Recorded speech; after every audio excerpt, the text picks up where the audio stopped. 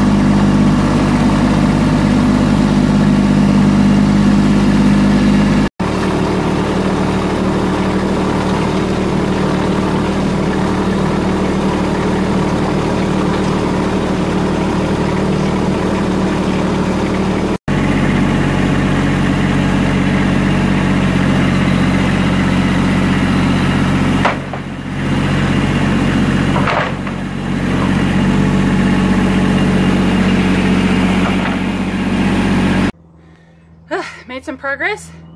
Uh, got some mats moved. It's not exactly a square building in here, so makes it a little bit tricky, but I'm gonna take down all those boards now. They're only eight footers and this is 10 feet wide. So um, I'm gonna have to probably put a panel down in the middle here, but get moving on that.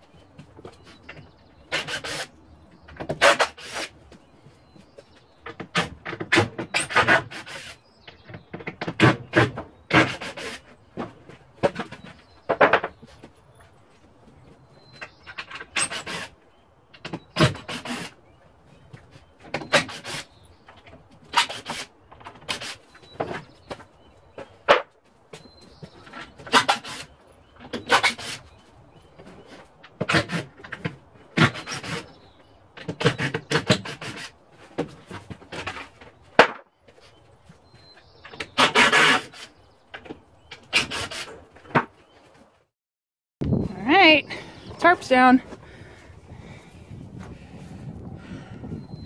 And they'll have their paddocks here.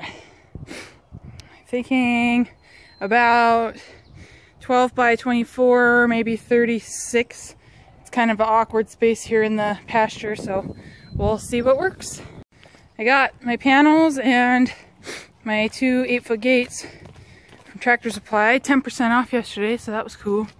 So I'm gonna move those over there now. Don't need a gym membership when you have a farm. personal rant of mine.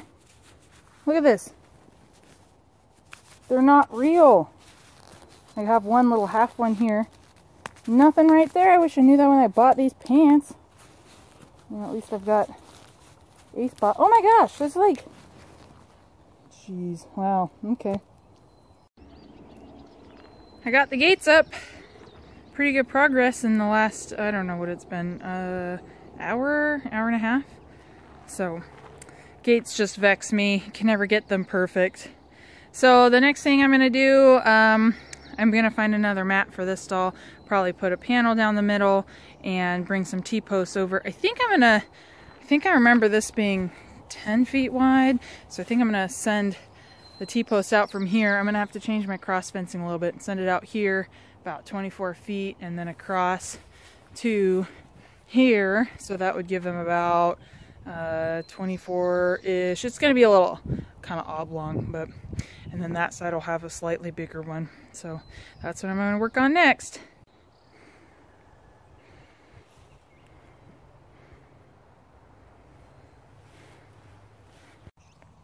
Joey's helping me, huh, Joey? Yeah, Joey's helping me.